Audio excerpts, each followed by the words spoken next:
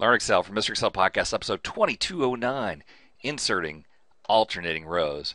Hey, welcome back to Mr. Excel Netcast. I'm Bill Jelen. This one's a classic. I was down in Atlanta, and uh, someone described that they had a spreadsheet like this. Now, hey, I don't want to hear that you shouldn't keep your spreadsheet like this. They had a spreadsheet like this, and they said, here's our problem. You know, we have two rows, two physical rows for every uh, data, and and whether they, we should do that or not, they said, when I insert two rows, Alt I R to insert two rows, all three rows freaking become gray, right? And I said, oh yeah, hey, I got a solution for this, all right? But before we get to that solution, we have to go back to like third grade, second grade, when you're first learning how to divide. Remember this? Four goes into nine. Nine divided by four, and the answer would be two with a remainder of one. Four goes into nine two times. Four times two is eight. There's one left over. So we'd write 2R1. 5 goes into 17, 5, 10, 15, three times with a remainder of 2, 3 R2. You remember remainders, right? That's because we were all paying attention in third grade. This stuff was hard back in third grade. In high school, no one was paying attention to math anymore. We're paying attention to the pretty girl sitting in front of us. Uh, and so you don't remember when your math teacher taught you about something called modulo. Modulo is just like remainders. 17 modulo 5 is 2 because 2 is remainder when you divide 5 into 17. All right, you get 3 with a remainder of 2. So if we ask for an equal mod of 17 comma 5, the answer is going to be 2. There's the formula. It works, right? So mod stands for modulo, which is really just some fancy name for remainder. What's the remainder? All right, why all this talk about modulo? So I'm going to use a function here, equal row, equal row, and row just tells me what row it's in, right? 3, 4, 5, 6, 7, 8, 9, 10, 11, 12. And then I'm going to take the mod of that row, mod of that row, divided by 2. All right, so 2 goes into 3 one time with a remainder of 1. 2 goes into 4 twice with a remainder of 0.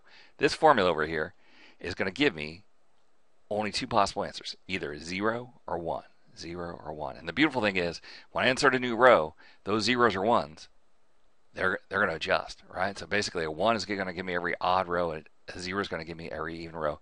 And it looks like here I want to highlight the even rows, right? So I'm just going to choose all this data, all this data.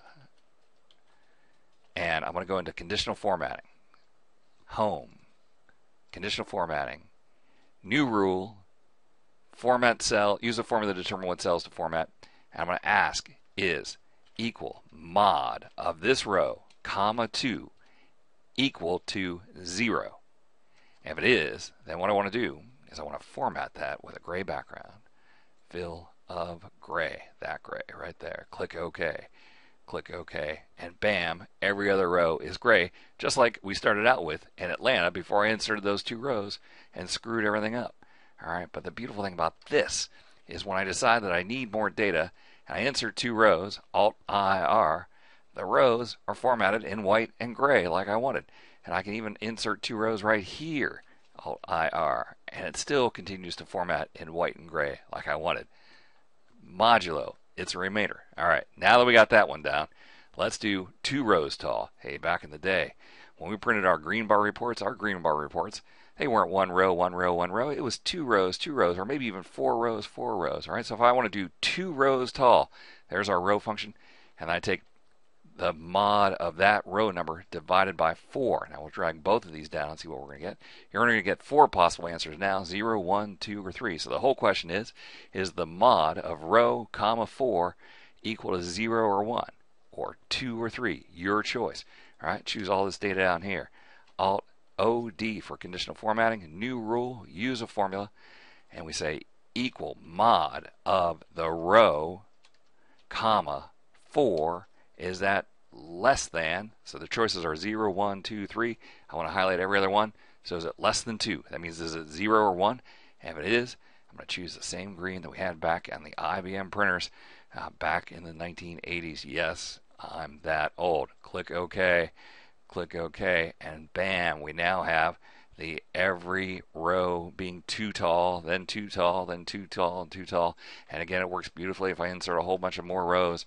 I keep that green bar format all the way down. I love when I get a great Excel question and I know the answer, and the answer involves some sort of weird geeky math because now it's geeky Excel and geeky math. The word modulo, I don't know if it's Latin or Greek or who knows what it is, uh, but it solves that problem. Mr. Excel Live, the 54 greatest Excel tips of all time.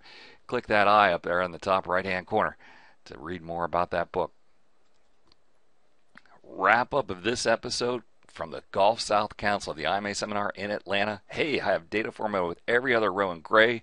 When I insert two rows, both rows are gray.